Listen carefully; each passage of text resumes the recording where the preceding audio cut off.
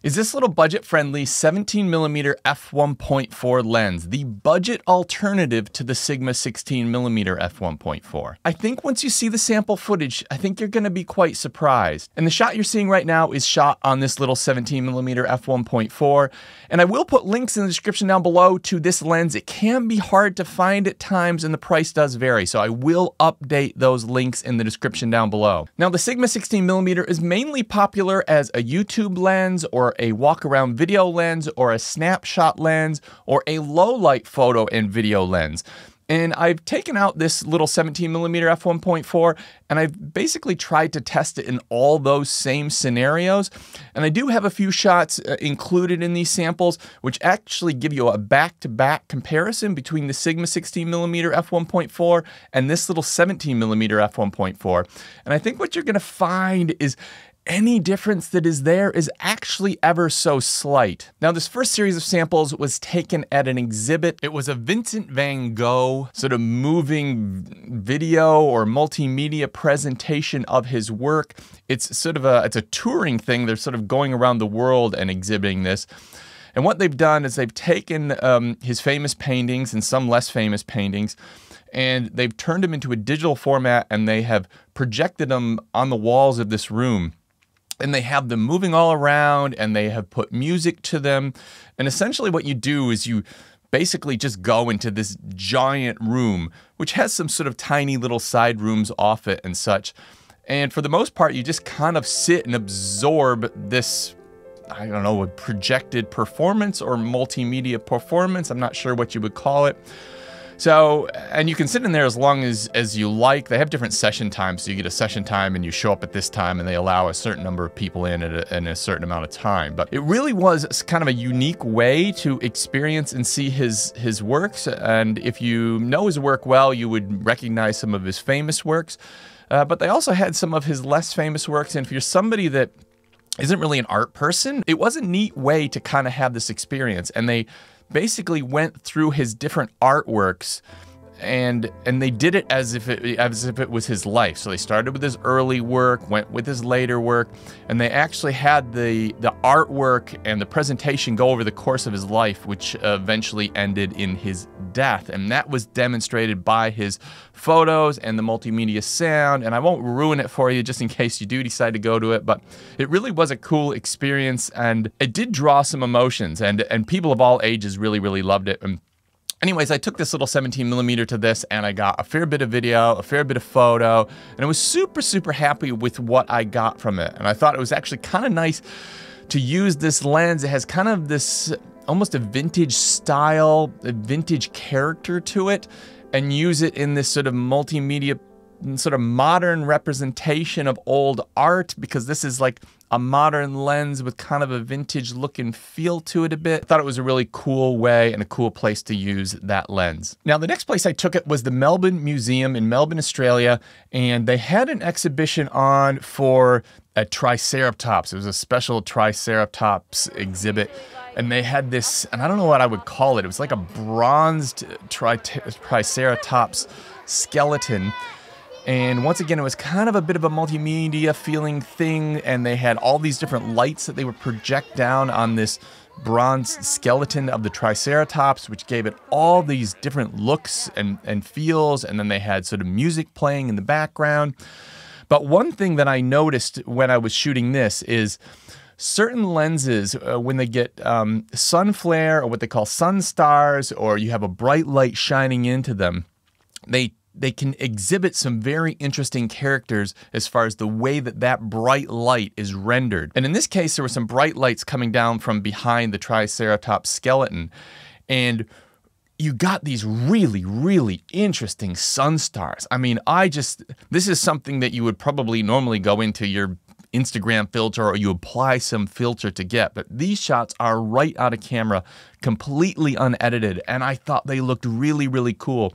And it's something I hadn't heard anybody talk about when talking about this lens, and something that I didn't even know this lens could or would do. So I thought the style and the feel that these sort of sun, sun stars or sort of bright light stars gave to the footage or the photos was super, super cool. I really, really liked that. And even for the little bits of video footage that I that I used in this situation with it, it worked really, really well. And even though the lens is obviously not image stabilized because it's just an all manual lens, at 17 millimeters, that's wide enough that the camera shake isn't too bad and it's totally usable. And if you are using an editor where you can stabilize that video footage, it stabilizes very well and sort of very easily. So I think at 17 millimeters, it is totally usable for video as well as photo. Now, obviously, it's an inexpensive lens. It isn't a perfect lens, and there are some sort of advantages and disadvantages to this lens. And the first thing I want to say about this lens, it, it is built so, so well. And, and I think when you feel feel this lens, it's pretty much all metal. It's got a metal focus ring, it's got a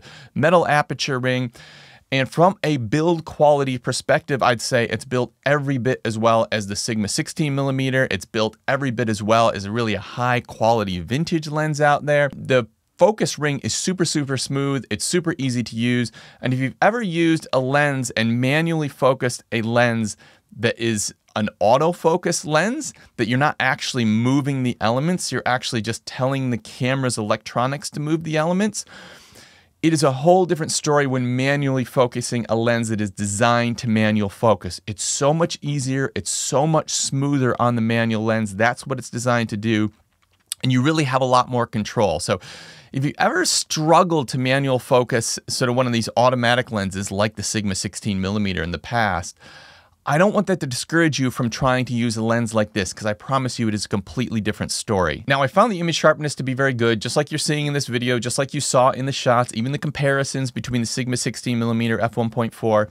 I will say that the image is sharpest in the middle, and at times if you want to get the sharpest image you might want to stop it down, particularly if you want to get those corners a bit sharper. You might stop it down to sort of f2, f2.8. But I was I was super happy with it. There was never a time that I was using this lens and then I was looking at the the results of the photos or video and I thought I needed to be sharper. That absolutely wasn't the case. It was plenty sharp enough and I thought the image was great. The other thing that can sometimes happen with third-party lenses is sometimes they can skew your colors or the colors don't look accurate or the colors don't look the same as they do with sort of one of the lenses, the native mount lenses for the camera.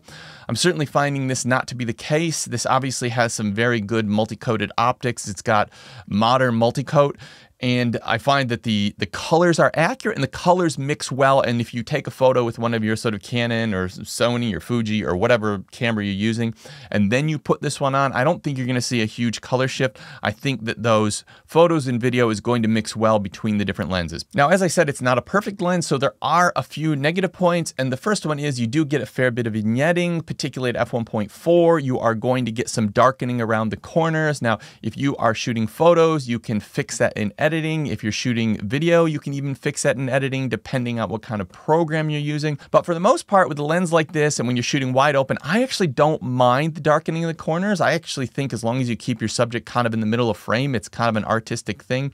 And I find with a lot of vintage lenses, you get that look as well. So the fact that you've got a little vignetting around the corners doesn't really bother me. Now, the lens does show some noticeable barrel distortion. Now, in most situations, you're not going to notice this, but if you are shooting straight lines, you will notice those lines are curving like this across the horizon and often at the sides curving like this. One thing I will say about barrel distortion, people make a big deal about sort of barrel distortion, uh, pin cushion distortion, and other forms of distortion that lenses often give.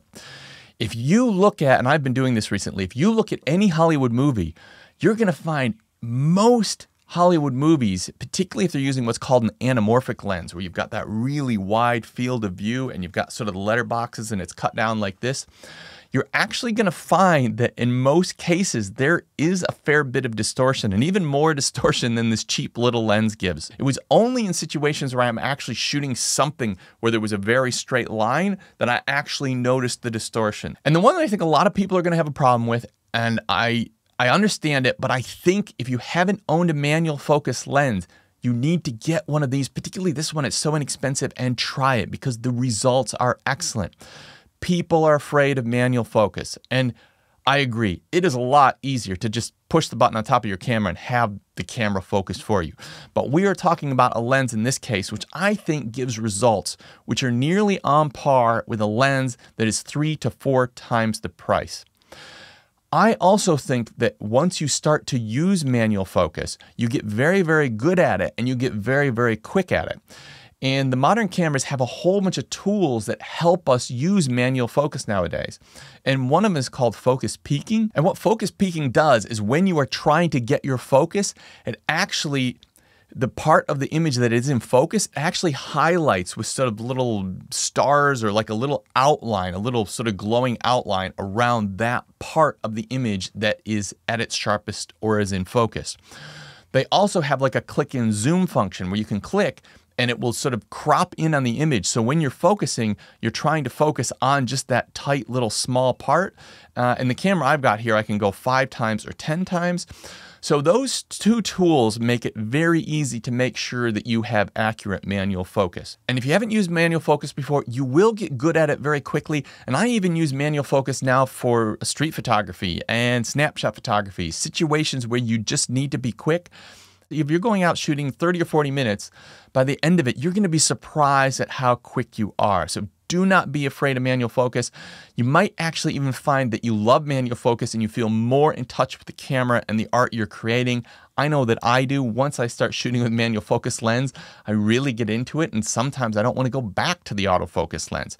So if you haven't tried a manual focus lens, be sure to give it a try, and I think this is a good one to give a try to. Now, I think this lens is a perfect fit for what we're doing on this channel, and that is trying to get the best results in photo and video with the gear that you can afford or the gear that you already have.